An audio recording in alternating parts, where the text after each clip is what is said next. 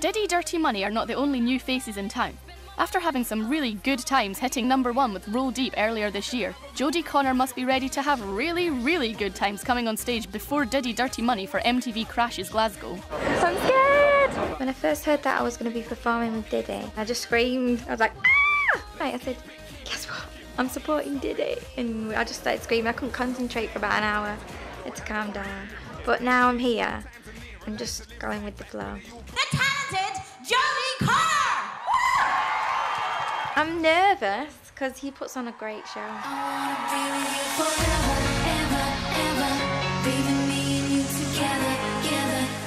But I've just got to step my game up now. It is like a whirlwind, but I'm enjoying every minute of it.